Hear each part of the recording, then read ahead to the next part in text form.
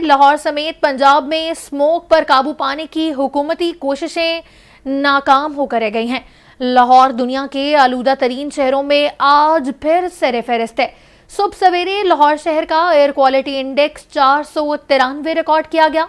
पंजाब और सिंध के मैदानी इलाकों में सुबह के औकात में शदीद धुंध भी थी। Motorway M three M four M five और एम एलेवन पर हद निगाह कम ट्रैफ़िक मअतल कर दी गई। महकमा मौसमियात की के मुख्तलिफ़ इलाकों में आज बारिश की पेशन गोई भी है।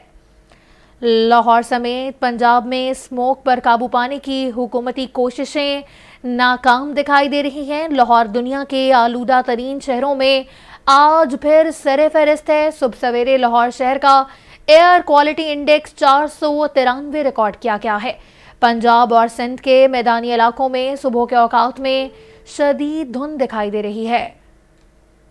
इसी पर मजीद तफसलत जानते हैं नुमाइंदा कैपिटल टीवी मियाँ आमिर जमील से। जी मियाँ आमिर जमील, तफसलत से आगा कीजिएगा। जी, बिल्कुल अलीना, अगर बात की जाए महकमा मौसमियात ने, एक बार फिर मुल्क में मुख्तलिफ़ इलाकों में बारिशों की पेशेनगोई कर दी है, जबकि पंजाब में स्मोक पर काबू पाने के हुकूमती इकदाम और उनकी कोशिशें इस वक्त तक नाकाम साबित हो रही हैं, जबकि लाहौर जो है, इस वक्त दुनिया के आलूदा तरीन शहरों में सर फरिस्त पर बरकरार है, जबकि सुबह सवेरे जो एयर क्वालिटी इंडेक्स रिकॉर्ड किया गया, उसके मुताबिक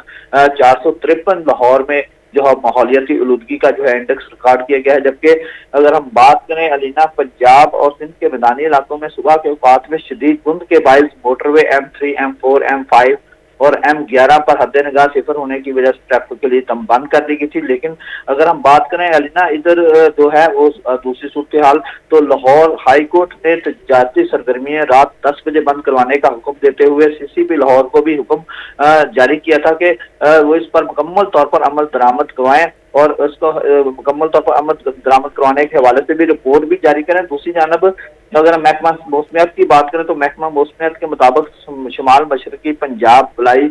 खैबर पख्तूनखा और कश्मीर में बारिश का इम्कान भी बताया जा रहा है और इसके अलावा महकमा मौसमियात की जानब से बलाई इलाकों में और पहाड़ों पर बर्फबारी की पेशीन गोई भी की गई है। लेकिन दूसरी जानब, अगर हम लाहौर की बात करें लेना तो इसको लाहौर की जो सूरत हाल है लाहौर में जो है एयर क्वालिटी इंडेक्स और समोक का इस वक्त राज बरकरार है, लेकिन दूसरी जानब निगरान हुकूमत की जानब से जो इजलास हुए थे चंद रोज पहले उसमें खसूसी तौर पर ये इकदाम किए गए थे कि एक मसनू बारिश पहुंचाई जाएगी और इसी हवाले से एक कमेटी भी तश्कील दी गई थी जो कि चाइना जाएगी और वहाँ पर उसकी ट्रेनिंग लेने के बाद या उनके माहिर यहाँ पर आएँगे और मौसमी बारिश पहुँचाने के हवाले से इकदाम करेंगे। लेकिन इस वक्त जो सूरत हाल दिखाई दे रही है, इस वक्त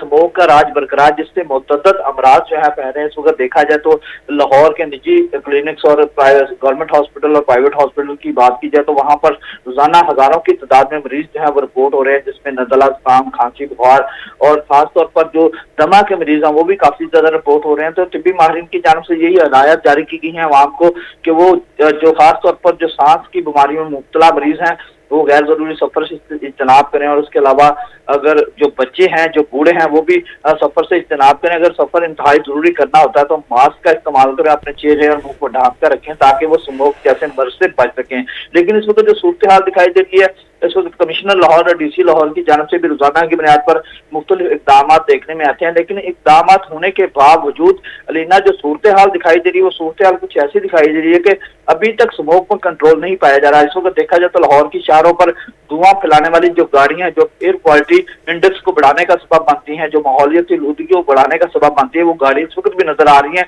लेकिन ट्रैफ़िक पुलिस की जानब से उनके खिलाफ चलान भी किए जाते हैं, उनको गाड़ियों को बंद भी किया जाता है, लेकिन उसके बावजूद वो खातर इंतज़ाम होने के बावजूद जो है, स्मोक पर काबू नहीं पाया जा सकता